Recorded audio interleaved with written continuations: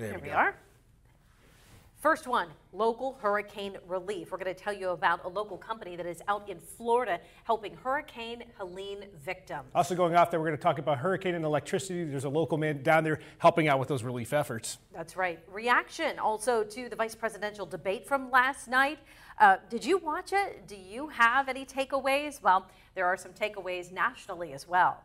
All right, we first want to talk about Logan and Chelsea Hunt. They are a couple from Corry that are putting together a way to help those affected by Hurricane Helene. The couple collecting any contributions. We're talking food, water, clothing, even money. And there are three locations that supplies can be dropped off in the region. That includes the Corry Lawrence Airport, Dusty's Towing in Union City, or Bova's Hardware in Spartansburg. And if you can't make a physical donation, there's also a way to donate through Cash App or Venmo to Logan Hunt 493. Our Logan Lepiscopo will be talking with Chelsea and Logan Hunt. They'll have a story tomorrow on their efforts. But again, you'll be able to find out more information also on our website at erienewsnow.com. And also, repairs and rebuilding continue in the south following the devastation of Hurricane Helene. And businesses from Erie have made the trip to help out those in need. Joe Dobrich, the owner of Dobrich Electric, got down to Clearwater, Florida yesterday morning and says the devastation he has witnessed has been indescribable.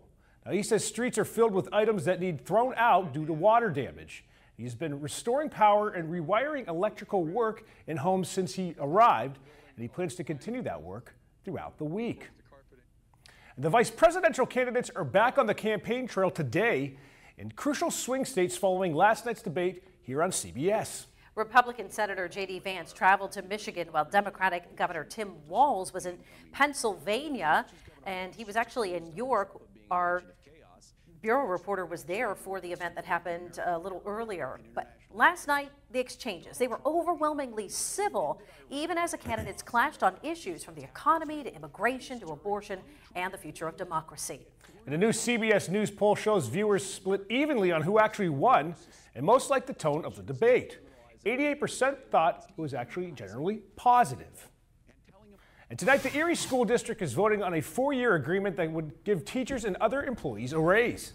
It's expected to pass at tonight's special board meeting, which just got underway, raising the starting salary by almost 10% in the first year. Yeah, this is another big news story of the day. So, the ability to hire teachers and keep them has been a struggle on both a local and national level, which is why the Erie City School District has collaborated with the Erie Educational Association, Association that is.